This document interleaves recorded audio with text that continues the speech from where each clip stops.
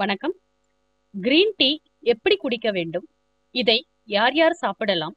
யார் யார் சாப்பிடக்கூடாது? கிரீன் டீ சரியான தயாரிப்பு முறை. பவுடராக வாங்காமல் பச்சை இலையாக இருக்கும் கிரீன் டீயாக வாங்கவும். கிரீன் டீ இலைகளை நீருடன் சேர்த்து கொதிக்க வைத்து வடிகட்டி வெதுவெதுப்பான சூட்டில் அருந்துவது உடலுக்கு மிகவும் நல்லது.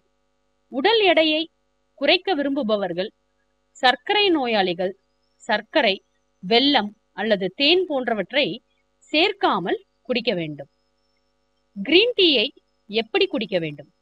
தினமும் ஒன்று அல்லது இரண்டு கப் அளவுக்கு மேல் கிரீன் டீ குடிக்க கூடாது கிரீன் டீ சாப்பிடுவதால் உடலில் ஏதேனும் பக்க விளைவுகள் ஏற்படுவது போல தோன்றினால் உடனே கிரீன் டீ சாப்பிடுவதை நிறுத்தி விடுவது நல்லது.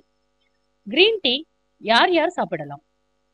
மல்டிபிள் ஸ்கெலரோசிஸ் டைப் ஒன் சர்க்கரை நோய் psoriasis rheumatoid arthritis peptic ulcer பாதிப்பு உள்ளவர்கள் கிரீன் டீ சாப்பிடலாம்.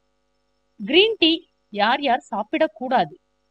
அலர்ஜி ஆஸ்மா சைனஸ் வைரஸ் காய்ச்சல் அல்சர் வைரஸ் தொற்று நோய்கள் உள்ளவர்கள் கிரீன் டீ சாப்பிடக்கூடாது. மேலும் தகவல் அறிய சேனலை சப்ஸ்கிரைப் பண்ணுங்க. நன்றி வணக்கம்.